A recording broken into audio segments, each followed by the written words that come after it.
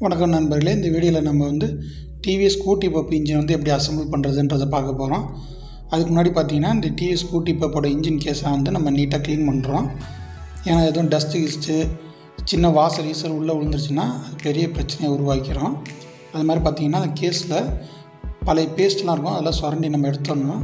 இது வந்து லேத்தில் போயிட்டு கிராங்க் ஷாஃப்ட் வந்து நம்ம வேலை பார்த்து எடுத்துகிட்டு வந்திருக்கோம். கனெக்டராட் புதுசு போட்டிருக்கோம். அதனால் சவுண்டு வராது. இதை வந்து நான் டிஸ்மேண்டிங் வீடியோவில் காட்டியிருப்பேன். பழுதான கனெக்டரில் வந்து வரக்கூடிய சவுண்டு அதுக்கப்புறம் வேலை பார்த்த பிறகு சவுண்டு வராது. பேரிங் ரெண்டும் புதுசு போட்டிருக்கோம். கிராங்க் ஷாஃப்டில் வரக்கூடிய பேரிங்கும் புதுசு மாட்டியிருக்கோம் ஏன்னா பேரிங்கும் பழுதாக இருந்துச்சு. இப்போ பார்த்தீங்கன்னா இன்ஜின் கேஸுக்குள்ளே இருக்கிற ஆயில் வந்து நம்ம வெளியே வராமல் இருக்கிறதுக்காக பேஸ்ட் போடுறோம். இந்த ஸ்கூட்டி பெப்பில் வந்து பார்த்திங்கன்னா பேக்கிங் வராது. இந்த ரெண்டு கேஸு இணைக்கிற இடத்துல பார்த்திங்கன்னா பேக்கிங் வராது. நம்ம பேஸ்ட்டு தான் போடுவோம். வந்து அதுக்கான பேஸ்ட் வந்து நம்ம போடுறோம். பேஸ்ட் அப்ளை பண்ண பிறகு நம்ம கிராங்க் ஷாஃப்ட்டை தூக்கி அதோட இடத்துல உட்கார வைக்கிறோம். இப்போ அசைக்கி அதாவது அங்கிட்டும் இங்கிட்டும் கொஞ்சம் அசைக்கி கரெக்டாக சீட்டிங் உட்கார வைக்கிறோம். கரெக்டாக உட்காந்துருச்சான்றதை வரையும் நம்ம செக் பண்ணிக்கிறோம். கனெக்டர் கரெக்டாக உட்காந்துருச்சு பர்ஃபார்மன்ஸ் பார்க்குறோம் நல்லா ஃப்ரீயாக இருக்குது. இப்போ அதுக்கு மேலே வரக்கூடிய கேஸை போட்டு நம்ம அணைச்சிடுறோம். இப்போ பார்த்திங்கன்னா மற்ற கீர் வண்டியிலலாம் பார்த்திங்கன்னா பைக்கிலலாம் பார்த்திங்கன்னா கியர் பாக்ஸு இதெல்லாம் வந்து நீங்கள் கேஸ் அவுத்தோடனே எல்லாம் வந்துடும் இதில் பார்த்தீங்கன்னா பிரிச்சிருப்பாங்க ஸ்கூட்டி பப்பில் வந்து. கியர் பாக்ஸ் தனியாக வீல் கிட்ட வரும். இது தனியாக இன்ஜின் வந்து இங்கிட்டு வரும். அதாவது கரெக்ட் கிராங்க் ஷாஃப்ட் இந்த இந்த வந்து செக்டார்லாம் வந்து இங்கிட்டு வரும். இந்த மாதிரி நெட்டை நம்ம போட்டு டைட் பண்ணும்போது எந்தெந்த நெட்டை கரெக்டாக போடுறோமா இல்லையான்னு ஒரு டவுட் வரும்.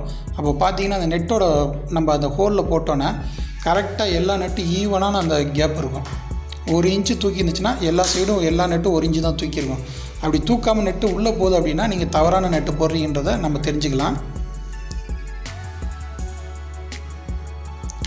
அதை வச்சு சொல்லிடலாம். இப்போ நீங்கள் பார்த்தீங்கன்னா ஒரு சில நெட்லாம் பார்த்தீங்கன்னா பாருங்கள் டைட் பண்ணாத நெட்லாம் பார்த்தீங்கன்னா கரெக்டாக மற்ற நெட்டு எந்த அளவு மேலே தூக்கியிருக்கோ அதே அளவு தான் தூக்கியிருக்கும். இல்லை நெட்டு ரொம்ப மேலே தூக்கியிருக்கு அப்படின்னா நீங்கள் தவறான நெட்டை போடுறீங்க. இல்லை நெட்டு அந்த ஹைட்டோட கீழே உள்ளே போயிடுச்சு மட்டமாக ஆயிடுச்சு அப்படின்னாலும் தவறான நெட்டு அதாவது தவறான போல்ட்டை போடுறீங்கன்னு நீங்கள் தெரிஞ்சுக்கலாம்.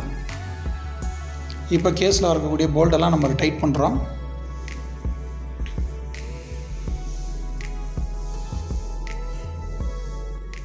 ஈவனாக எல்லா சைடும் நம்ம டைட் பண்ணோம். ஒரு ஒரு போல்ட்டை மட்டும் நல்லா டைட் பண்ணிட்டு அடுத்தடுத்த ஃபுல் போல்ட்டாக ஃபுல்லாக டைட் பண்ணிடக்கூடாது ஈவனாக டைட் பண்ணிட்டு வரணும். இப்போ இந்த வண்டிக்கு இன்ஜினுக்கு வரக்கூடிய அது ஆயில் சீல்லாம் அதெல்லாம் இத்தனை ஆயில் சீல் இருக்குது இந்த வண்டிக்கு. இப்போ பார்த்திங்கன்னா நம்ம சென்டர் ஸ்டாண்ட் எடுத்து மாட்டுறோம். ஏன்னா கேஸ் அணைச்சாச்சு கேஸ் அணைச்சோன்னா கேஸை நம்ம நிறுத்தி மாட்டுறதுக்கு வசதியாக இருக்கும். அதனால் சென்டர் ஸ்டாண்டை முதல் மாட்டிடுறோம்.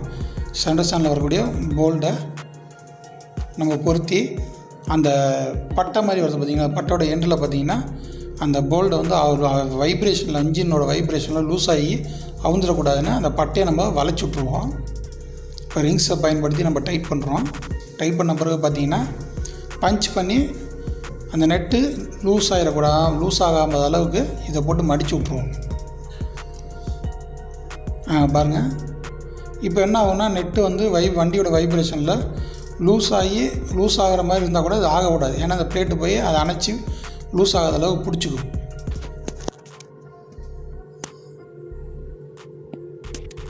இப்போ சென்டர் ஸ்டாண்ட் மாட்டியாச்சு. இன்ஜின் வந்து நம்ம நிறுத்தி வச்சு மாட்டுறதுக்கு வசதியாக இருக்கும். இப்போ பேக்கிங் போடுறோம் போர் பேக்கிங்கு அந்த சின்னதாக ஒரு ஸ்லீவ் மாதிரி பார்த்தீங்களா வரும் இல்லையா? அது வந்து ஸ்லீவு கரெக்டாக வந்து நம்ம போர் போய் கரெக்டாக உட்காரதுக்காக இது பிஸ்டன் பிஸ்டன் ரிங்ஸ்லாம் வந்து எப்படி மாட்டுறதுன்னு இன்னொரு வீடியோவில் நான் சொல்கிறேன் இப்போ பிஸ்டனை வந்து நம்ம கனெக்டரோட இணைக்கிறோம். இப்போ பிஸ்டன் பண்ண உள்ளே தள்ளி லாக் ஒன்று வரும். அந்த பின்னு வெளியே வராமல் இருக்கிறதுக்கு அந்த லாக்கையும் போட்டுக்கிறோம். நம்ம இங்கே மேலேயும் கீழேயும் திருப்பி ஃப்ரீயாக இருக்குதான்றதையும் பார்த்துக்குறோம். இப்போ பிசன் மாட்டின பிறகு போரை வந்து ஸ்டெட்டில் வந்து நுழைக்கிறோம். அந்த நாலு கம்பியமாக இருக்குது பார்த்தீங்களா ஸ்டெட்டுன்னுவாங்க அந்த ஸ்டெட்டில் வந்து போரை நுழைக்கிறோம். நுழைச்சி பிஸ்டனை வந்து போருக்குள்ளே துணிக்கிறோம். துணிக்கும் போது பார்த்திங்கன்னா அந்த ரிங்ஸ் எல்லாம் வெளியே நீட்டிட்டு தள்ளும். அதை வந்து நம்ம வந்து திருப்பிலி இதை வச்சு கொண்டு உள்ளே துணிச்சு விட்டு பிசனை உள்ளே தள்ளி விடணும். எல்லா சைடும் இப்போ பிசன் வந்து நம்ம டாப்பில் தான் வைக்கணும். வச்ச பிறகு பார்த்திங்கன்னா டைமிங் செயின் பேடை வந்து அதோட இடத்துல பொறுத்துறோம் பொருத்திட்டு டைமிங் செயினை உள்ளே கொண்டு போகிறோம் பொருத்துறதுக்கு. இப்போ மேலே வரக்கூடிய இப்போ டைமிங் செயின் பொருத்தணும் பார்த்தீங்களா அது வந்து போல்டில் வந்து நம்ம டைட் பண்ணிடுவோம். அதுக்கு கீழே ஒரு டைமிங் செயின் பேடு வரும். இந்த செயின் வந்து லூஸாக லூஸாக என்ன ஆகும் இந்த பேடு போய் செயின் மேலே மோதி செயினை வந்து டெம்பராக வச்சுக்குவோம்.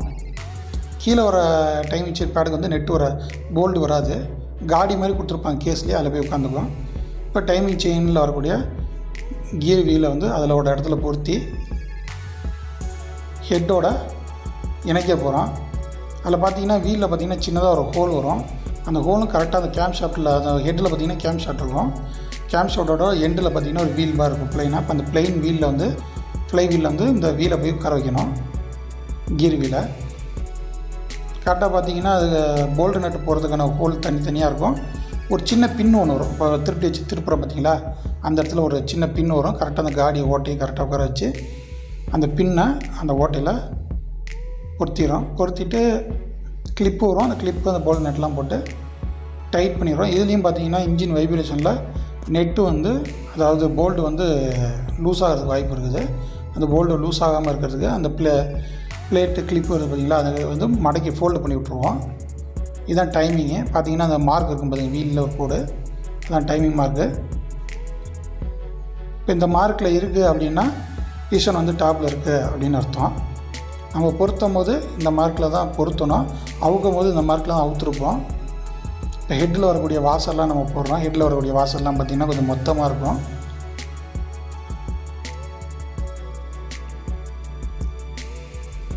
இப்போ இந்த பிஸ்டன் வந்து டாப்பில் இருக்கும்போது பார்த்தீங்கன்னா மேக்னெட்டு பார்த்தீங்கன்னா மேக்னெட்லேயும் மார்க் இருக்கும். அந்த சைடு இப்போ இந்த இன்ஜினுக்கு ஆப்போசிட் சைடு அந்த சைடு பார்த்தீங்கன்னா மேக்னெட் வரும். அந்த மேக்னெட்லேயும் பார்த்தீங்கன்னா டைமிங் மார்க்குன்னு இருக்கும். இப்போ அங்கே டீன் போட்டிருக்கு. அதுக்கு நேராக வந்து மார்க்கு இந்த டீக்கு அது பார்த்தீங்கன்னா இந்த காடி இருக்கும் பாருங்கள் கிராங்க் ஷாட் உட்கார அந்த கிராங்க் ஷாட்டில் ஒரு காடி இருக்கும். அதே மாதிரி மேக்னெட்லேயும் ஒரு காடி இருக்கும். கரெக்டாக அந்த காடியில் உட்கார வைக்கும்போது இந்த டைமிங்கு நேராக இருக்கும். அதாவது பிஸ்டன் நேராக இருந்தால் இந்த இடத்துல டைமிங்கும் இந்த ரெண்டு கோடும் கேஸில் உள்ள கேஸில் பார்த்தீங்கன்னா ஒரு கோடு இருக்குது பாருங்கள் அந்த கோடு இந்த கோடு ஈவனாக இருக்கும். பிஸ்டன் டாப்பில் இருந்தால் எதுக்கு பிஸ்டன் டாப்பில் வைக்கிறோன்னா பிஸ்டன் டாப்பில் வச்சு தான் நம்ம வந்து அது பண்ணால் வால்வ் வந்து நம்ம அட்ஜஸ்ட் பண்ணுவோம். இப்போ வந்து பார்த்திங்கன்னா டைமிங் செயின் கியரில் வரக்கூடிய போல்டு வந்து டைட் பண்ணுறோம் அது சுத்தாமல் இருக்கிறதுக்கு இந்த சைடு பிடிச்சிக்கிறோம். இப்போ அந்த நெட்டை வந்து நெட்டு வந்து அந்த கிளிப்போட போட்டு அணைச்சிடுறோம். நெட்டு வந்து லூஸ் ஆகாமல் இருக்கிறதுக்கு. லூஸ் ஆனால் அவங்க கீழே வந்துடும்ல வண்டி வைப்ரேஷன் ஆகும்ல பயங்கர வைப்ரேஷன் ஆகும் இன்ஜின் ஓடமுச்சு அதனால். இப்போ வால் வந்து நம்ம அட்ஜஸ்ட் பண்ணுறோம் அந்த வால்வ் அட்ஜஸ்ட் பண்ணுறது பார்த்திங்கன்னா கிளியரன்ஸுக்கு வந்து ஃபில்லர் கேஜின்றதை யூஸ் பண்ணுவாங்க. இப்போ நீங்கள் நம்ம மெக்கானிக்னால அதை அந்த ஷேக் வச்சு நம்ம தெரிஞ்சுக்கலாம். அதாவது லூஸ் இருக்கக்கூடாது. மேலே கீழே அது ஒரு உங்களுக்கு நான் இன்னொரு தனி வீடியோவில் நான் சொல்கிறேன் இப்போ வந்து டைமிங் செயின் அட்ஜஸ்டர் அதோட ஒரு இடத்துல வச்சு நம்ம டைட் பண்ணுறோம் இப்போ வந்து பார்த்திங்கன்னா ஹெட்டு பேக்கிங் வரக்கூடிய ஓரிங் இந்த ஓரிங் புதுசு வாங்கி மாட்டுறோம். மேக்ஸிமம் அது ஒன்ஸ் இன்ஜின் நம்ம வச்சுட்டானா புதுசு வாங்கி மாட்டுறது நல்லது. ஏன்னா ஆயில் லீக்கேஜ் ஆகும். இப்போ இந்த ஒரு பீஸ் பார்த்திங்கன்னா இந்த timing chain adjust timing chain adjust பண்ணுற இடத்துல ஒரு பீஸ் மாதிரி ஒரு அலுமி ஒரு இரும்பு பீஸ் உட்காரச்சோம் பார்த்தீங்களா? அது எதுக்குன்னா நாளைக்குள்ளே நம்ம ஒரு வால்வ் அட்ஜஸ்ட் பண்ணுறோம் இல்லை டைமிங் அட்ஜஸ்ட் பண்ணுறோன்னா இந்த இடத்த நம்ம ஈஸியாக அந்த டீ ஸ்பேனர் போட்டு லூஸ் பண்ணுறதுக்காக அவுத்துக்கிறதுக்காக நம்ம அந்த இடத்துல வளைவாக ஒரு அரை கோணத்தில் அரை வட்டத்தில் வந்து ஒரு அமைப்பு கொடுத்துருக்காங்க. ஹெட்டு கேப் உட்கார வச்சாச்சு. ஹெட்டு கேப்பில் பார்த்தீங்கன்னா லப்பர் ஓரிங்கையும் உட்கார வச்சுருக்கோம். அந்த லப்பர் ஓரிங் புதுசாக இருந்தாலும் நம்ம பேஸ்ட் போட்டுறோம் ஏன்னா ஆயில் லீக்கேஜ் எதுவும் வந்துடக்கூடாதுன்னு. இப்போ இது நம்ம பழசே வந்து போகிற போகிறனாலும் பேஸ்ட் போட்டு போடலாம். பட் அந்த லப்பர் பார்த்திங்கன்னா ஒரு மாதிரி ஹார்டாக ஆயிடுச்சுன்னா நம்ம தூக்கி போட்டுருணும் பட் லப்பர் மாதிரி நல்லா வலிஞ்சு நெளி வளைவாக வளையுது நல்லா லப்பரோட தன்மை இருக்குதுன்னா நம்ம அதையும் யூஸ் பண்ணிக்கலாம். பட் ஹார்டாகிடுச்சு அப்படின்னா அது கண்டிப்பாக அது போட்டு ஆயில் லீக்கேஜ் ஆகும். அதனால் புதுசு தான் வாங்கி போடணும். இல்லைன்னா நம்ம இன்ஜின் வேலை பார்த்து மேலே என்னாகும் ஆயில் லீக்கேஜ் ஆகி வடிஞ்சு ஒரு மாதிரி ஆயிலெலாம் வடிஞ்சிருக்கும். இப்போ இன்ஜினில் உள்ள ஆயிலெலாம் குறையும். குறையிறனால இன்ஜின் பழுதாக வாய்ப்பு இருக்குது திரும்பி இன்ஜின் ஆயில் லெவல் குறையும். அதனால் ஆயில் லீக்கேஜ் ஆகி அதனால் நான் பூச மாட்டிடுறோம். இந்த சைடு ஆயில் சீலை வந்து நம்ம மாட்டுறோம். ஆயில் சீலை பார்த்திங்கன்னா நம்ம பஞ்ச் பண்ணி அதோட இடத்துல பொறுத்துறோம். இந்த ஆயில் சீலை நம்ம பஞ்ச் பண்ணும்போது ஹார்டாக போட்டு அடிச்சிடக்கூடாது. அடித்தோன்னா ஆயில் சீல் டேமேஜ் ஆகி ஆயில் உள்ள இன்ஜினுக்குள்ளே இருக்க ஆயில் வந்து இது வெளியே வெளியே வந்துடும் இந்த ஆயில் சீல் போடுறது இன்ஜின் உள்ள ஆயில் வெளியே வராமல் இருக்கிறதுக்கு தான். அதனால் அதில் எதுவும் காயப்பட்டு லப்பர் எதுவும் பிதுங்கிடாத அளவுக்கு கரெக்டாக ஈவனாக பொருத்திடணும் அதுக்கு மேலே பார்த்திங்கன்னா காயில் மேக்னெட் காயிலை வந்து பொருத்துகிறோம் இது மூலமாக கரண்ட் ப்ரொடியூஷன் கரண்ட் உற்பத்தி ஆகும்.